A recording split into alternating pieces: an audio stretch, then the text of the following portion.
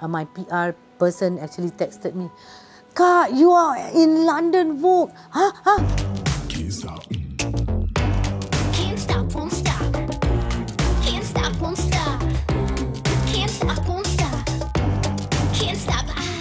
Hi, I'm Fatima Mohsin. I'm the director of Fatima Mohsin, the Wedding Gallery Private Limited. I've started Fatima Mohsin, the Wedding Gallery Private Limited, only 10 years ago. We started from just mainly makeup and developed into a whole range of wedding services for our mainly Malay Muslim market. One of my most memorable wedding that I did was actually for Singapore Idol Sezari Sezali.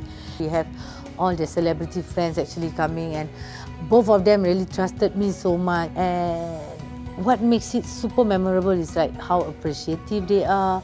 They even had a nice write-up for us, give us a good testimonial and then, uh, at the end of the day, there's a lot more memorable weddings and I'm so focused in such a niche market and my customer base are just like the Malay Muslims, all that. So this is something that I am really looking how we can actually overcome this. With the help of SME Center, I am trying to solve a lot of these problems. Dahlia actually connected me to BA to actually provide courses and uh, reach out to a bigger market that uh, catering to people from all walks of life. Another problem that we are really facing is also productivity.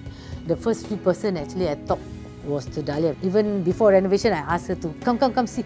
And then she straight away have idea. Do you know that Kampung Glam has got this collaboration with StarHub to actually make the business more upmarket and digitalization. And then I was telling her, oh yeah, how come all these type of things you can come up with? And that was so amazing. Like uh, while we are doing the renovation, all that, StarHub is already preparing our uh, POS, CRM system to actually increase the productivity so that my staff don't have to be so handling all this outfit one by one and then doing the administrative stuff. That was amazing because before this, I thought that could never happen. Another problem that we are really facing is I were to stay here in Singapore still, this is just who we are. So we know we have the potential to grow, to actually bring this brand overseas. So these people from the London Fashion Week for models actually contacted us if we can represent Singapore and be a part of one of the most prestigious shows for you to tap in because you can't just enter and say, hey, I want to go in.